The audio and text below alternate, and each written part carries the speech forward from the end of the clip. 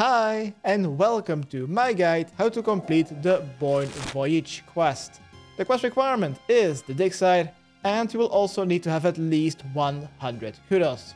Varrock Museum kudos can be obtained by doing the quiz in the basement, fine cleaning on the ground floor, and talking about your completed quests on the first floor. For more details, be sure to check out my kudos guide, link is in the description. There are no stat requirements, but if you want to rebuild the southern bank on Fossil Island right after you've completed the quest, then you will need to have at least 21 construction. If you want to rebuild the entire camp, then you will need to have at least 29 construction. Items needed. A Marrentill potion unfinished and 2 bottles of vodka.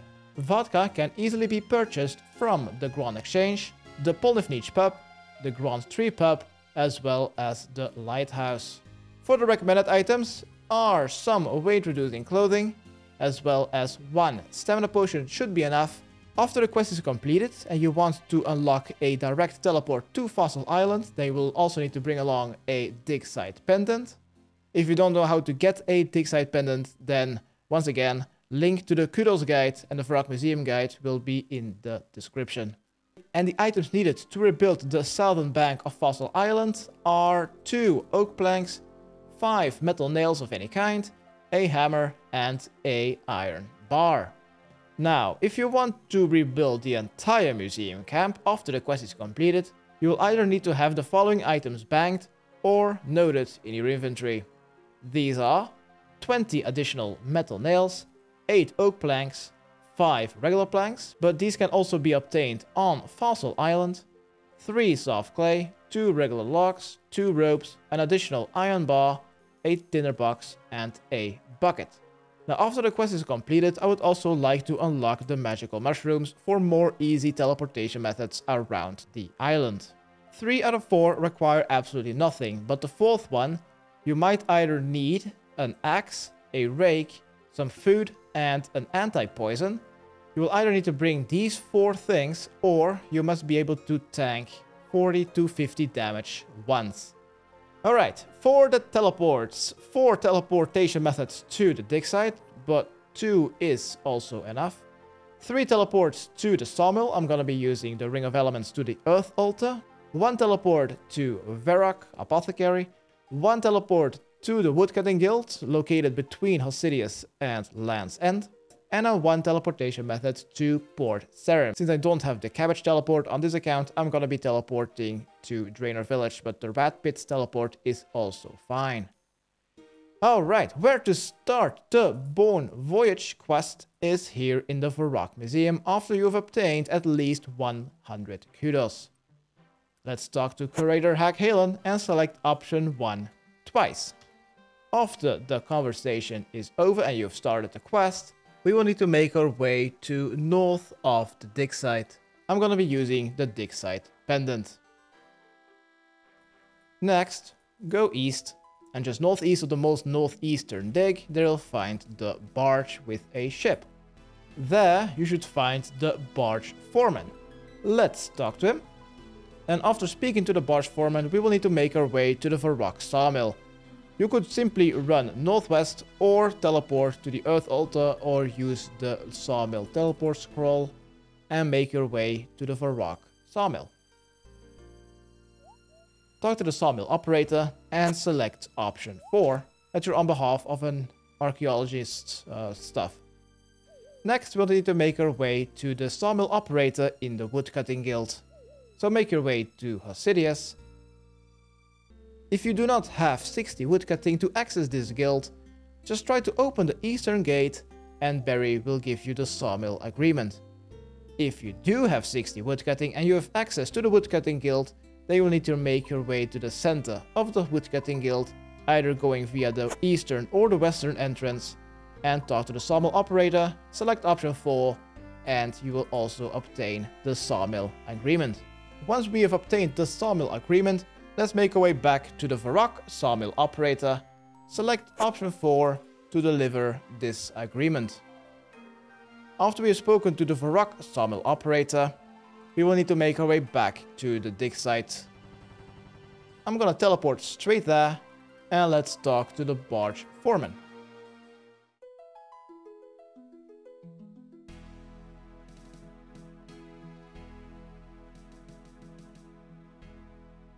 After we've spoken to the barge foreman, we'll be able to right click and board with the guy with the fancy red clothing and board the boat. There we'll find a couple of NPCs. Right click and talk to the lead navigator. Select option 1 and then 2. After we've spoken to the lead navigator, we will need to make our way to Port Sarim. The fastest teleport would be the cabbage teleport, but if you don't have access to that, then teleport to the rat pits of Port Sarim or teleport to Draynor. We will need to make our way to the pub of Port Sarim, south of the cabbage field.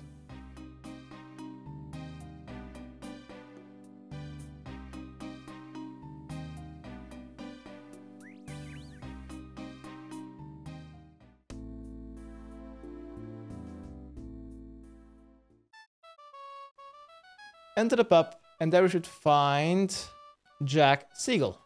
Let's talk to him and select option 2 about cursed voyages. After we've spoken to this guy, we'll need to make our way back to the lead navigator on the dig site boat. So get ready to teleport to the dig site again.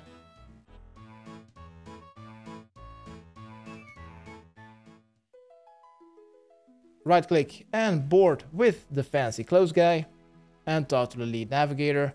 So we'll tell the information about the guy that has been on a cursed voyage.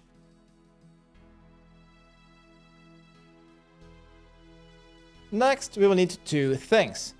First, let's make our way to Varrock and go to the apothecary. Let's go south. The apothecary is located southwest of the clothing store. This guy is in a lot of quests. Let's talk to him the options are always different depending on how many quests you have completed. So, for me, this select option 3 about something else, and then 3 once again about Bone Voyage. And you will need to bring him some items. Talk to him once again, select 3 3 again about Bone Voyage, and he will make you a potion of seal legs. Once we have this, we will need to make our way to the limestone mine of the Rag and Bone Man quest. I'm gonna be using another lumberyard teleport and following the path eastward to the Rag and Bone Man quest start at the limestone mine. We will need to talk to the odd old man to receive a bone charm for free. Simply select option 1 and then 2.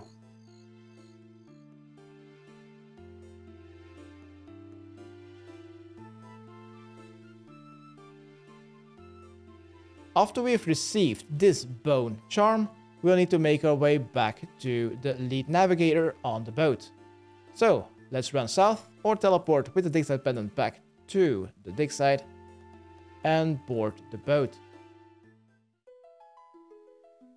Let's talk to the lead navigator to give him the potion of eggs and then talk to the junior navigator to give him the bone charm. Or vice versa. Select option 1 after you are done to start our voyage. By making the lead navigator down two bottles of vodka, he is now unconscious and you will have to take the wheel. You'll now get to feel at first hand how this voyage is cursed, and it is because of the navigation controls. Step 1, please focus on the yellow arrow at all times. That is the most important thing. When the yellow arrow tilts to the left, decrease the throttle once so you're not going full speed and then spam click on the right arrow below until the yellow arrow is pointing north again. When the yellow arrow tilts to the right, decrease throttle once and then spam click on the left arrow below until the arrow also points north. When, for a short period of time, the arrow is pointing straight north, increase the throttle to the maximum and then click on the arrow below once to make the rudder straight. And then just keep focusing on the yellow arrow because it will start to tilt to the left or the right. Immediately decrease the throttle once and then spam click on either the right or the left arrow until it starts pointing north again. This could take you between one and a half minutes all the way up to 10 minutes.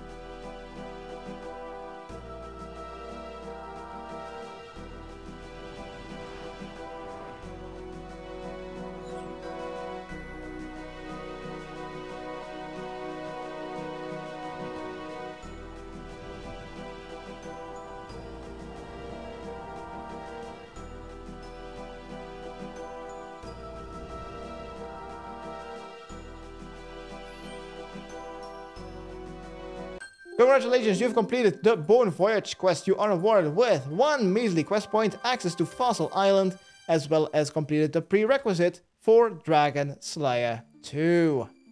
To get off this boat onto Fossil Island, let's right click on the Junior Navigator and travel.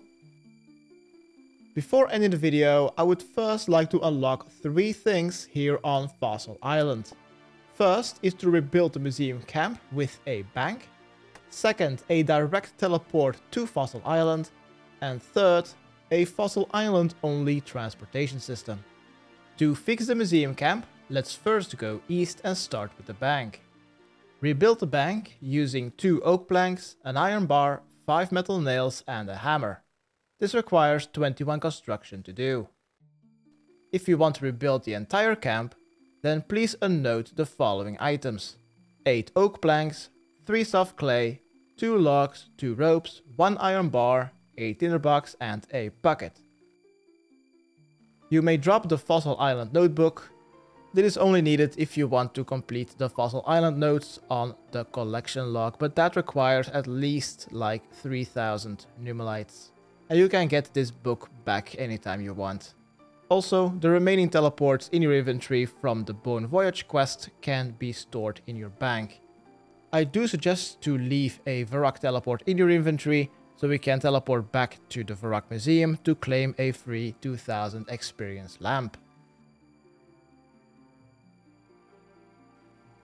Since I cannot withdraw the 5 regular planks due to a full inventory, I'ma rebuild some stuff first.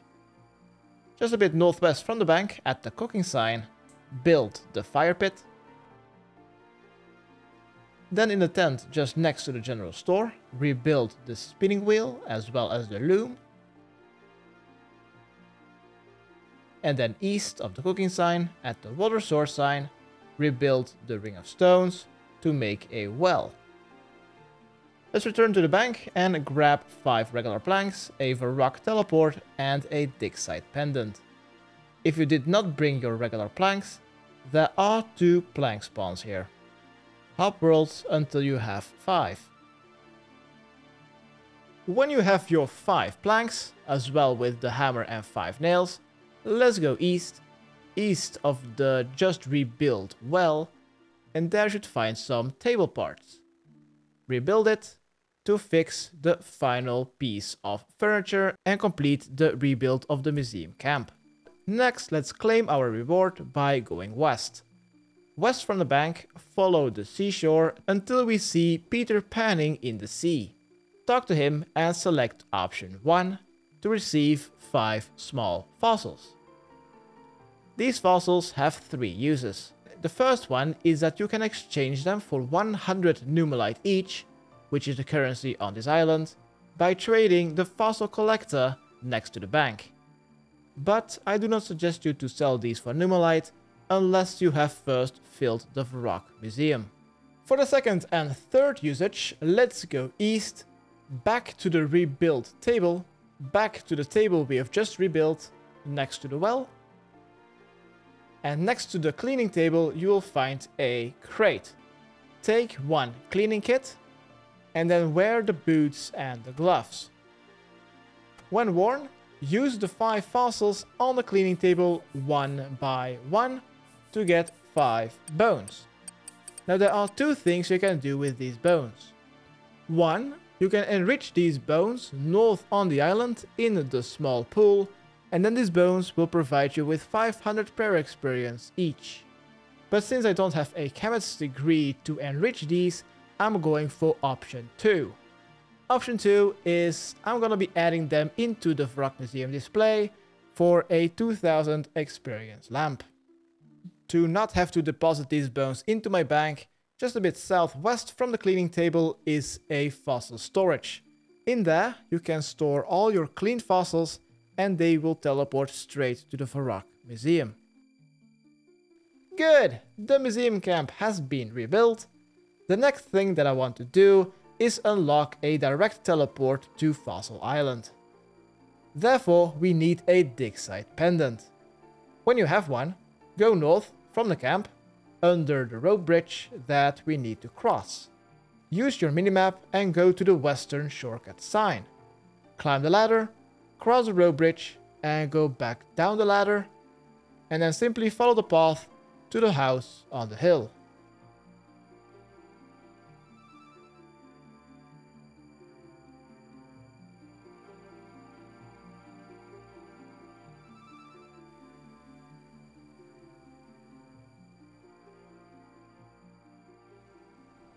The entrance of the house on the hill is on the western side. Climb upstairs and there you will find a strange machine just south. Use your dig site pendant on it to unlock the Fossil Island teleport. When you now rub the dig site pendant, it will now show you two options. When you select Fossil Island, the pendant will now be able to teleport you to the strange machine here in the house on the hill. Finally, I would also like to unlock a Fossil Island transportation system. Here, just north, is a magic mush tree. Click on it to unlock it. And as you can see on the interface, there are three more magic mush trees to unlock. Let's exit the house on the hill, back to the rope bridge, cross it, and then run northwest until you see the next transportation sign.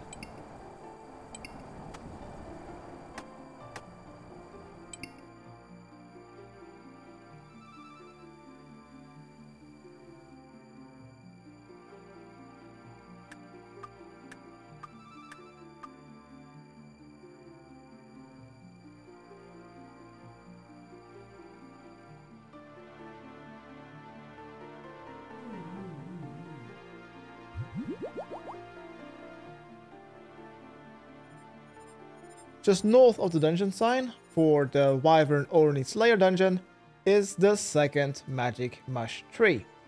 Click on it to unlock it, and then run east, northeast. Let's run to the corner of this island. There is a rowboat, but there will be some crabs attacking you, so when you travel with the boat, keep pressing number 3, and then it should take you to a small island.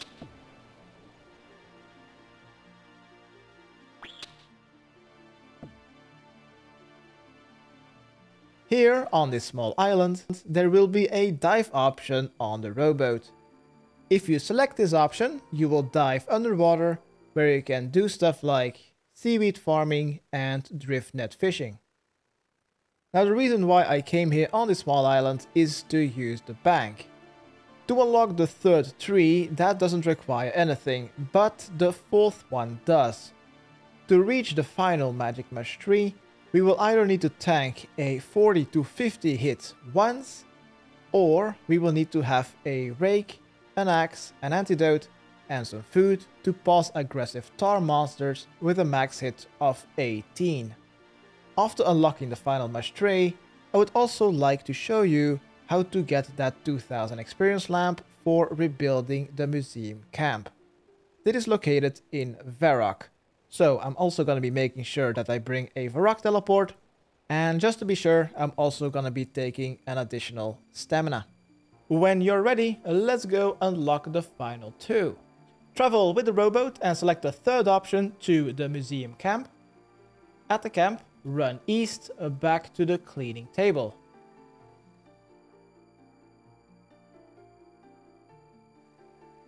At the cleaning table, go further east and follow the path.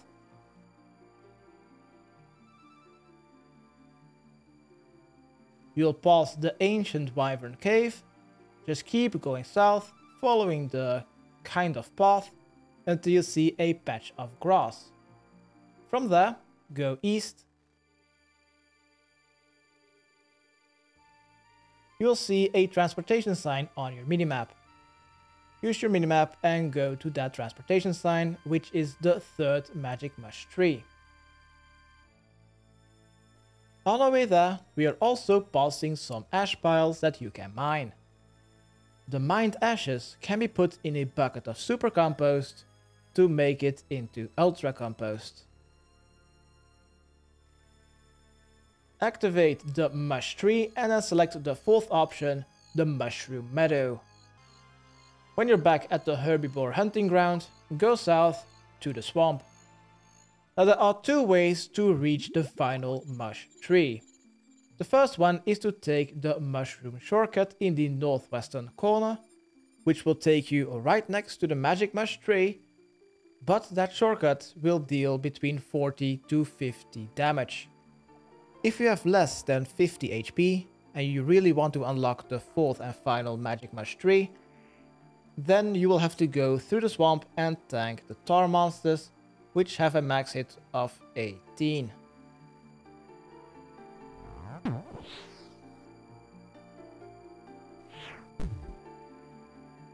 You will arrive next to the magic mush tree, simply unlock it, and okay, thanks, bye. If you're taking the slow route, just southwest of the rubber cap, chop the thick vine tree, and run south. Keep going south, chopping the vines, ignore the tar monsters. Also, you cannot use protect from magic or protect from ranged. These monsters will always deal damage. Use your minimap and go as far as possible south. When you can't go any further, either chop or clear the vines, and then do it again. Go as far as possible south, chop the vines, and go further south. Until you see the transportation sign to your east. Go around it via the southern side to the magic mush tree. And click on the final mush tree to completely unlock the Mycelium transportation system. Now there's only one more thing to do, and that is to claim our reward for rebuilding the museum camp. To do so, let's make our way to the Varrock Museum and go to the basement.